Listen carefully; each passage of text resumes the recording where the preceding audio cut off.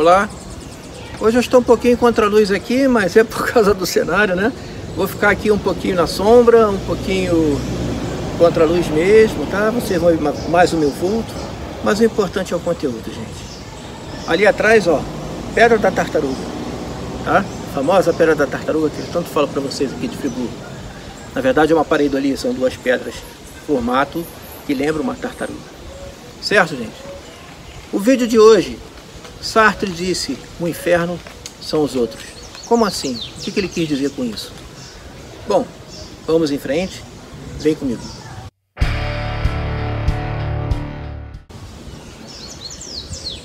Quando Sartre coloca que cada um escolhe o seu universo, como eu falei no vídeo anterior, tá? Esse seria uma continuação. É, no existencialismo de Sartre, ele diz que o homem é condenado a ser livre, né? E cada um escolhe seu universo, cada um a cada minuto escolhe o minuto seguinte.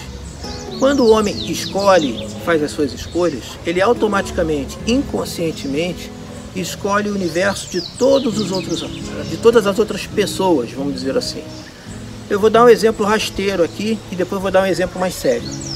Por exemplo, se você gosta de manga, de, de comer a fruta manga, de chupar manga, você acha que todo mundo deveria gostar de manga. Isso é inconsciente, tá? Isso é normal do ser humano. Se uma pessoa não gostar de manga, vocês vão dizer, nossa, como assim você não gosta de manga? Eu, por exemplo, não gosto de frutos do mar, não gosto de comer camarão, tá? Se algum dia eu for almoçar na casa de alguém e o prato for camarão, eu vou comer. Mas se eu tiver uma outra opção, eu vou preferir a outra, a outra opção. Eu sou um dos únicos aqui que não gosta de frutos do mar. E não é que eu não goste, eu prefiro não comer frutos do mar. Muita gente vai dizer, nossa, como é que pode isso, coisa e tal, mas é a minha escolha. Assim como eu acho que todo mundo deveria escolher também da mesma forma que eu. Mas o que o Sartre vai mais longe nisso aí. O Sartre coloca coisas que realmente seria quase que impossível a convivência, como por exemplo, pena de morte. É, qual partido político vários outros assuntos importantes, condição sexual, uma série de outros assuntos que são realmente muito polêmicos, muito controversos e que as pessoas escolhem uma posição, defendem aquela posição e automaticamente, inconscientemente, acham que todo mundo deveria ser da mesma opinião delas. Então o que acontece? Quando nós escolhemos o nosso universo, o nosso universo se choca com o universo dos outros. Daí Sartre dizer que o inferno são os outros. E como é que a gente resolve isso?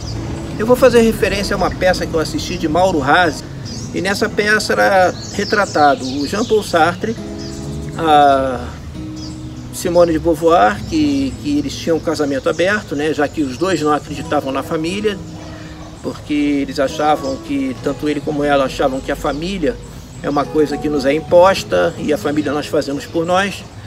Inclusive, durante a peça, quando eu assisti lá no Rio de Janeiro, teve, quando a Simone de Beauvoir, no caso era a Natália Timber, que fazia o papel dela, ela disse, falou sobre isso, alguém na plateia mandou assim, Sartre queria acabar com a família? Ela disse, é, sim. Mas o problema é, o que, que nós vamos colocar no lugar? Entende? Então, é, gente, eu, é importante que eu diga que essa opinião não é minha, eu estou falando em Sartre e explicando para vocês só um complemento ao meu vídeo anterior de que Sartre disse o inferno são os outros. Por quê? Porque exatamente por causa disso, porque você tem a sua opinião e você acha que todo mundo deveria ter a mesma, a mesma opinião com você. Então, como conviver? Agora vem a minha opinião pessoal, não é a opinião de Sartre. Para Sartre isso é impossível, não existe. Para mim é possível sim. Basta ceder, basta baixar a bola, basta baixar o ego e aprender a ceder, aprender a compreender, utilizando uma coisa chamada empatia, ou seja, se colocar no lugar do outro, procurar ver as razões do outro ter aquele mundo, procurar ver se, aquela, se, se o outro ou a outra, quando eu falo outro, me refiro tanto à mulher como ao homem, tá? Ao ser humano em geral se aquela pessoa tem algum problema, vamos dizer assim, tem algum aspecto autista, ou seja, alguma pessoa que tenha problemas de depressão, então por que, que aquela pessoa está se comportando daquela forma? Por que, que aquela pessoa reage de algumas formas?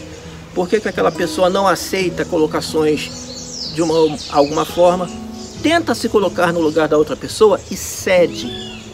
Ao mesmo tempo, a outra pessoa deve ceder também. E vocês não vão invadir o espaço, vão se respeitar e não vão ficar se degladiando. Essa é a minha opinião. E quando eu falei também que eu discordava de Sartre, eu vou explicar por que, eu discordo de Sartre.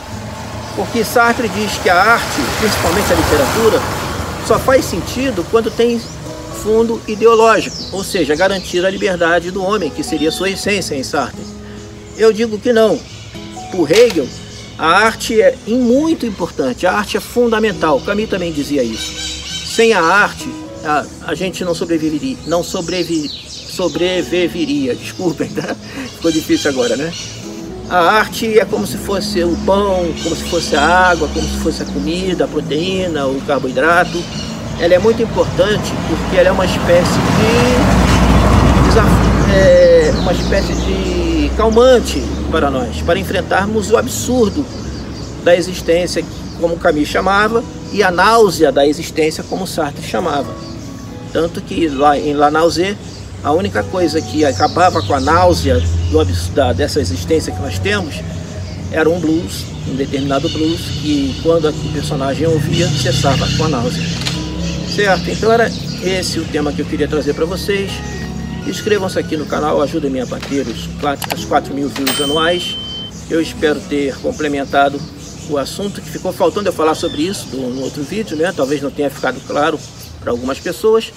Muito obrigado. Se inscrevam nos canais da Resistência Científica, porque são confiáveis. São todos eles defensores da ciência correta e todos nós combatemos a desinformação. Um abraço a todos e fui!